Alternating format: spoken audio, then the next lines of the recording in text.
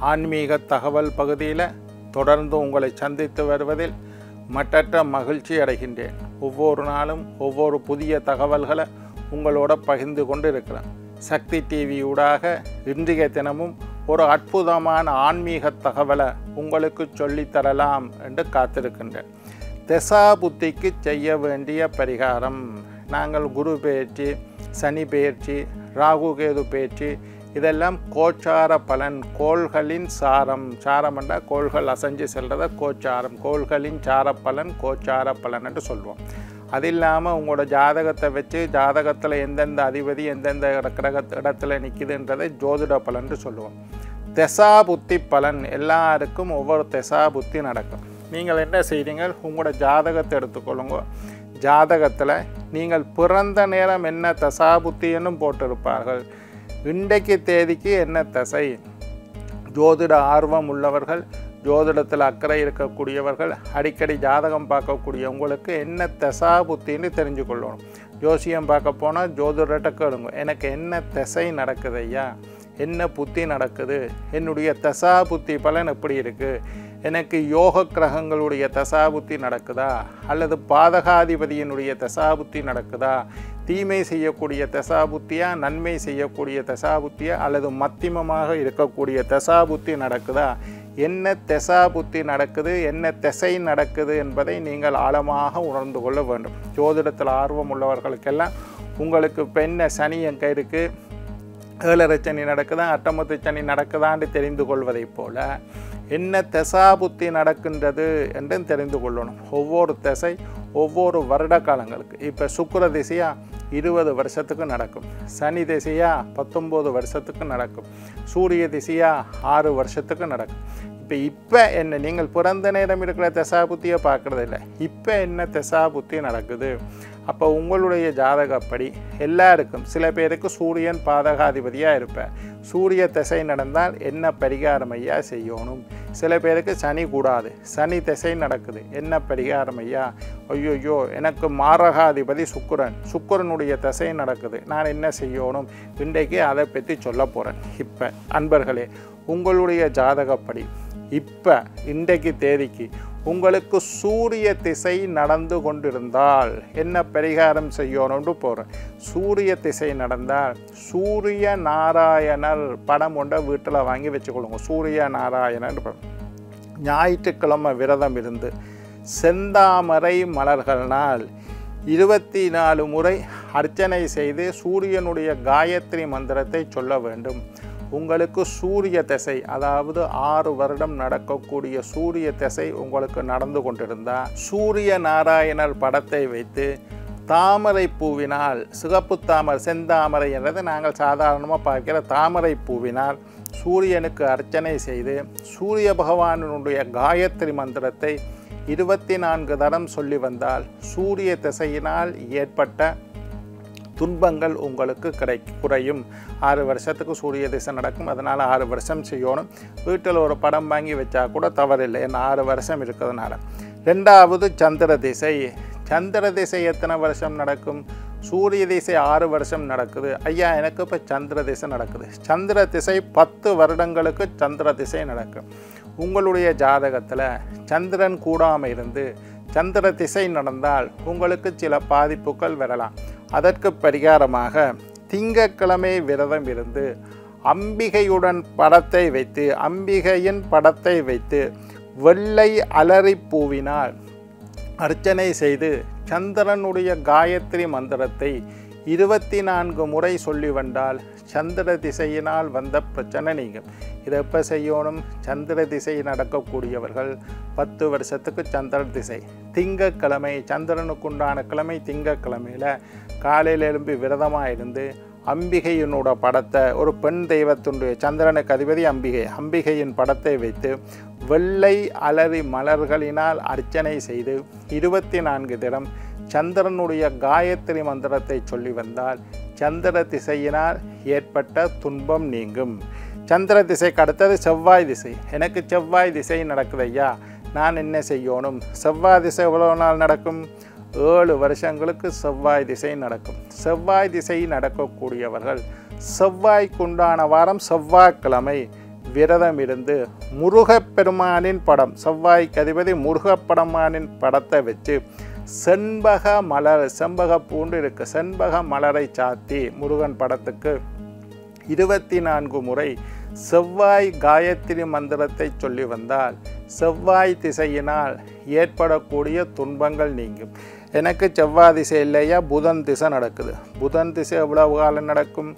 பதினேழு வருஷம் நடக்கும். இதுகளெல்லாம் எழுதி வச்சுக்கொள்ளுங்க. புதன் திசை பதினேழு வருஷம் நடக்கும். பதினேழு வருஷத்துக்கும் புதன்கிழமை காலையில் எழும்பி விரதமாக இருந்து வெண்காந்த மலரினால் விஷ்ணு புதனுக்கு அதிபதி பெருமாள். விஷ்ணுவுக்கு என்ன பூ? வெண்காந்த பூ என்று சொல்லக்கூடிய பூவினால் விஷ்ணுவுக்கு அர்ச்சனை செய்து புத பகவானின் காயத்ரி மந்திரத்தை இருபத்தி நான்கு முறை சொல்லி வந்தால் புதன் திசையினால் பதினேழு வருஷம் நடக்கக்கூடிய துன்பங்கள் நீங்கும். புதனுக்கு அடுத்தது குரு. எனக்கு குரு திசை நடக்குது. குரு திசை எவ்வளவு காலம் நடக்கும்? பதினாறு வருடங்கள் குரு திசை நடக்கும். குரு திசை நடக்கக்கூடிய பதினாறு வருடங்களும் முல்லை மலரினால் தட்சணாமூர்த்திக்கு அர்ச்சனை செய்து வந்தால் முல்லைப்பூ தெரியும் மல்லிகைப்பூ மாதிரி முல்லைப்பூ. முல்லை மலரினால் ஸ்ரீ தட்சணாமூர்த்தி படத்தை வீட்டில் வச்சு கும்பிடலாம் தட்சணாமூர்த்தி படம்.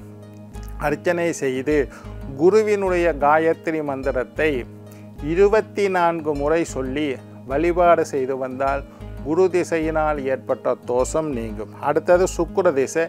இருபது வருஷத்துக்கு நடக்கும் சுக்குர திசை சுக்குர திசை நடக்கக்கூடியவர்கள் இருபது வருஷம் நடக்கக்கூடிய சுக்குர திசையினுடைய தோஷம் நீங்கணுமா இருந்தால் கரும் குவளை இல்லை வெண்தாமரை மலரால் லட்சுமிக்கு அர்ச்சனை செய்ய வேண்டும். சுக்குரனுக்கு அதிபதி மகாலட்சுமி.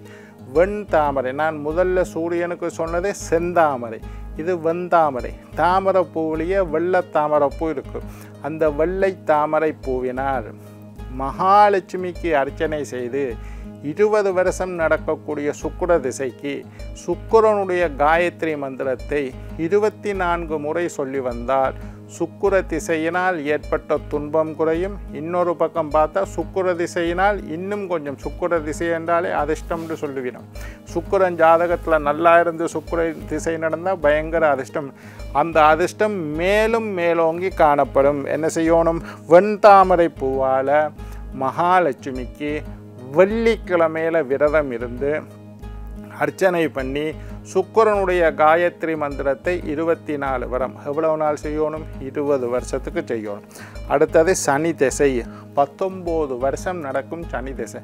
சனி திசை பத்தொம்போது வருஷத்துக்கும் சனிக்கிழமை விரதம் இருந்து திருப்பதி வெங்கடாஜலபதி படம் திருப்பதி மகாவிஷ்ணுவோட படம் வேற நாராயணர் படம் பேர கிருஷ்ணர் படம் பேர ராமர் படம் வேற திருச்செந்தூர் முருகன் படம் வேற பழனி ஆண்டவர் படம் வேற பழனி ஆண்டவர் படம் வேற இப்படி வேறு வேறையாக இருக்குது திருப்பதி வெங்கடாஜலபதி திருப்பதியில் இருக்க வெங்கடாஜலபதியோட படம் வேற மகாவிஷ்ணுவோட படம் வேற.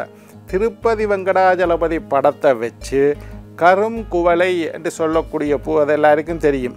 கருங்குவளை பூவினால் சனிக்கிழமை காலையில் எழும்பி விரதம் இருந்து பத்தொன்பது வருஷத்துக்கு கருங்குவளை பூவினால் திருப்பதி வெங்கடாஜலபதி படத்திற்கு அர்ச்சனை செய்து சனீஸ்வரனுடைய காயத்ரி மந்திரத்தை காகத்வஜாய வித்மகே கட்ககஸ்தாய தீமகி தன்னோ மந்த பிரச்சோதயா இந்த சனீஸ்வர காயத்ரி மந்திரத்தை இருபத்தி நான்கு முறை சொல்லி வந்தால் பத்தொம்போது வருஷம் வரக்கூடிய சனி திசையினால் ஏற்பட்ட துன்பங்கள் குறையும். அடுத்தது ராகு திசை. பதினெட்டு வருஷம் நடக்கும் ராகுவினுடைய திசை. அதுவும் பெரிய திசை. மந்தாரை மலர் என்று சொல்லக்கூடிய பூ எடுத்து துர்க்கை அம்பாளுக்கு அர்ச்சனை செய்ய வேணும். மந்தாரை மலர் துர்க்கை அம்மனுக்கு. எப்போ செய்யணும்? ராகு கேதுக்கு கிழமை இல்லை. வெள்ளிக்கிழமை விரதம் இருந்து வெள்ளிக்கிழமை விரதம் இருந்து துர்க்கை அம்பாளுக்கு மந்தாரை மலர் என்கின்ற பூவினால் அர்ச்சனை செய்து ராகுவினுடைய காயத்ரி மந்திரத்தை சுகதந்தாய் வித்மகே உக்ரரூபாய் தீமகே தன்னோர் ராகு பிரஜோதியா.